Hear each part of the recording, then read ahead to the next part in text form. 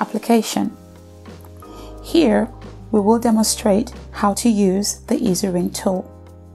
A few pointers to help you to perform the perfect hair extension installations are Always remain parallel to the client to ensure that the rings do not sway.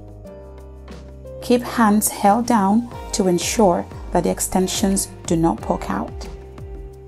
Take care not to capture any stray hairs in the sectioning comb. Clamp the rings tightly. It is normal for the silicone to spill at each end. Although tempting, minimize stroking the hair too much as this transfers oils from your hands to your client's hair. Always ensure that tools are kept clean. Never put tools in your mouth. Ensure that you have a clean working area. Ready? Let's proceed. Apply between 5 to 10 micro rings to the loops on your Easiring applicator. Starting at the section at the nape of the neck, position your comb in a horizontal position at the edge of the hairline. Here we are to create another safe zone. No hair will be situated in this area as again, the hair can sometimes be too fragile and this way allows no rings to be seen on an updo. Taking the tail of your comb, draw a straight line adjacent to your parting approximately half a centimeter in depth. Shuffle your section comb into place and secure with two gold clips. Align your Easiring applicator tool with the spacing on the comb. Take your third gold clip and push through the loop closed.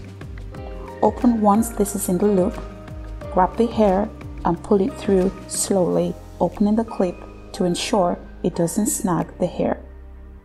Repeat for the remainder of the loops. Ensure the unit is held flat to the scalp. Get your slider and glide it along the rings, capturing one ring at a time. Push the slider towards the scalp whilst pulling the unit downwards towards the floor. Ensure that you are not holding the hair. If the rings do not go up at this stage, this means that your section size is too deep. Please revisit and amend. Hold the rings beneath the sectioning comb with your fingers. One at a time, add a stick tip hair extension into the center of the ring and clamp tightly before the stem pops out of the top. Ensure that your hands are held down prior to clamping. Repeat this process for each loop.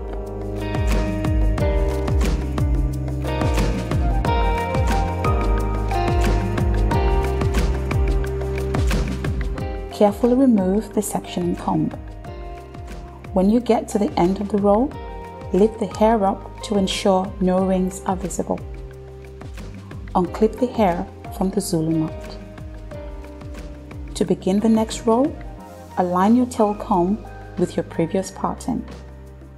Measure a straight line, half a comb width in depth. Clip the remainder of the hair back up into a Zulu knot.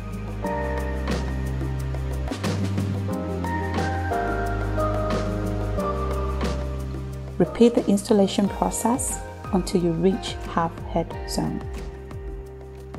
When you get to this area, unclip the remaining hair from the Zulu knot. Get the client to shake her head.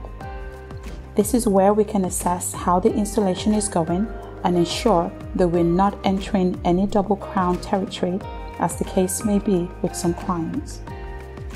Continue to walk up the hair shaft. At the second row of the safe zone, apply extensions two fingers in from the hairline. At the end of installation, gently massage the scalp to ensure that the client doesn't have any cross hairs or any irritability. Get client to sign off consultation form to confirm she is happy with the installation.